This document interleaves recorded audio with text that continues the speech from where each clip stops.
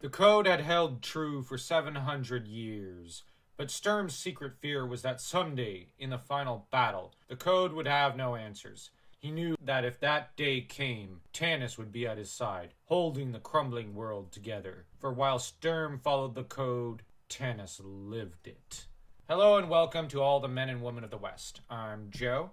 Got another lore video for you guys. This one being an answer to another question I've been asked recently. Why do the companions of the Lance follow Tanis? When he very apparently makes some pretty poor decisions, as proven when he ends up betraying several of his companions for Kitiara, remaining by her side for four days. He also ends up rushing into danger in Neraka to rescue Laurana, foregoing his duties as a leader in favor of those of a man. Whereas other characters such as Sturm put duty and others before himself at all moments, and Raistlin tends to be the most logical thinking, a bit more like a Spock type of character to Tanis's Kirk. Though the difference is that where Kirk and Spock truly cared for each other, Tanis has nothing but hatred for Raistlin, and Raistlin tends to vary between disdain and bemusement towards Tanis. The answer to this question is one that is different for each of the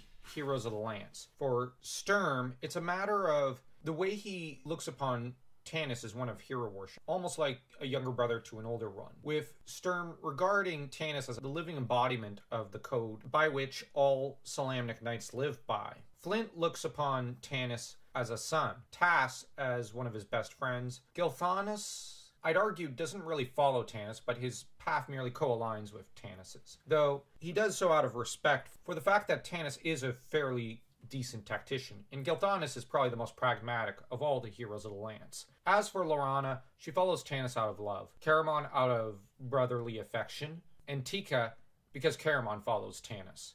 As for the Plainsmen, it's not as though they have anything better to do, so they simply follow Tanis out of friendship. Raistlin offers the most succinct explanations in Dragons of Winter Night, wherein he tells Laurana that Sturm is of noble blood, member of an order whose roots go back to ancient times. Why does he obey bastard half elf and Riverwind? He distrusts all who are not human and half who are. Yet he and Goldmoon both would follow Tanis to the abyss and back. Why? Raistlin goes on to explain. Tanis listens to his feelings. He does not suppress them as does the knight, or hide them as does the plainsman. Tanis realizes that sometimes a leader must think with his heart and not his head. It's interesting how Raistlin, though, does admit that he doesn't consider himself a follower of Tanis, merely that he's traveling in the same direction. This does fit with Raistlin's own behavior. It doesn't fully explain why they follow him. Now, in Soulforge, it is Tanis and Flint who are kind of co leaders. However, by the time of the Chronicles, Flint is far too ill and ailing to properly lead the team, so he's essentially abdicated in favor of Tanis. When Kitiara was a member, back before the Chronicles, in the Soulforge novel,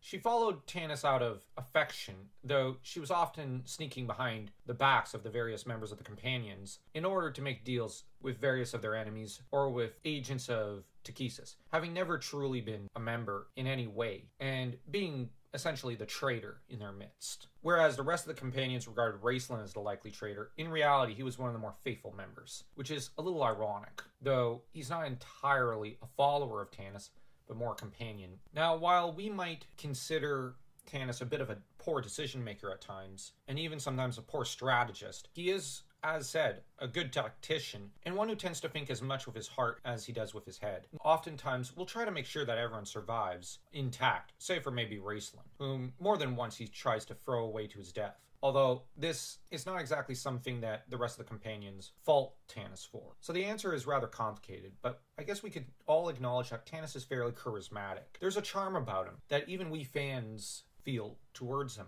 At times, we look upon his actions and say, why would anyone follow him in this situation? But the reality is, if we were there with the companions, we probably would end up wanting to follow him because Tanis is persuasive. He doesn't try to betray his companions. Whereas other men, such as Raistlin, or women, such as Kitiara, might betray the team, Tanis won't. Or at least, for the most part, he won't. He occasionally has given in to temptation, but overall, he's pulled through for the team, or at least certain members, such as Laurana, Flint, Tass. So it's a complicated answer. It's a mixture of intelligence, as Tanis is one of the smarter members, and sheer force of will. on his part. So as you can see, the answer is complicated and varies from team member to team member. And if this video has pleased you, just as Tanis has a tendency of pleasing many of his companions, then don't feel shy about smashing that subscribe button like your Theros, smashing Dragonlances into shape.